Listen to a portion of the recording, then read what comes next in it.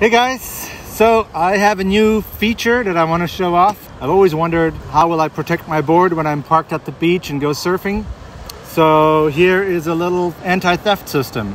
I activate it with the foot sensors and I put in my pattern dun, dun, dun, and it beeps twice and so it stores it to memory and it's actually stored permanently so even if I turn the board off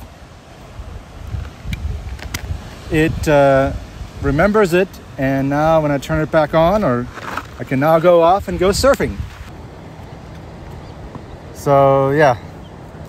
It's not the best but uh, it works and uh, to turn it off all you have to do is enter the same sequence again and then it'll store it and it'll stay on.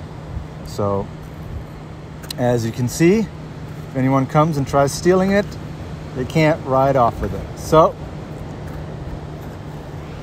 perfect, right? Hopefully this was useful. Thank you guys for watching. See you guys next time.